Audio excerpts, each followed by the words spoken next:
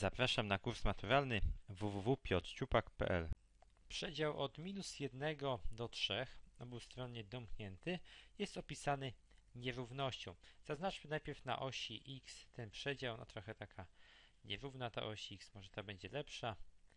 I mamy od minus 1 do 3 przedział obustronnie domknięty zamalowujemy. No i teraz jak to opisać przy pomocy wartości bezwzględnej? Od czego zaczynamy?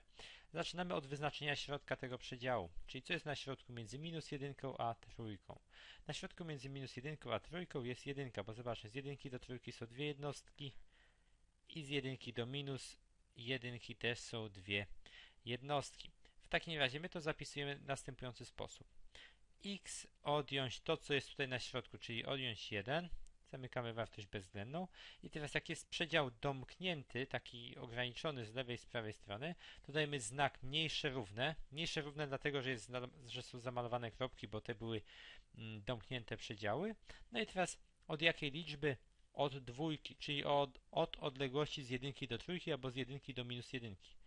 Czyli od dwójki, czyli x minus 1 wartości bezwzględnej mniejsze równe od 2. Szukamy takiej odpowiedzi. To jest odpowiedź C. Czyli jeszcze raz mm, przypomnijmy, najpierw wyznaczamy środek przedziału, później mierzymy jaka jest odległość ze środka przedziału do krańcowej liczby, jakiejś tutaj na przykład do trójki albo do minus jedynki. Ta odległość to jest oczywiście 2. Tę liczbę wstawiamy zawsze po prawej stronie, jeśli mamy taką nierówność. Natomiast w nawiasie to, co jest tutaj stoi, ta jedynka, czyli ta liczba na środku, idzie w to miejsce i pamiętamy, że ją odejmujemy. No i taki przepis na zadanie.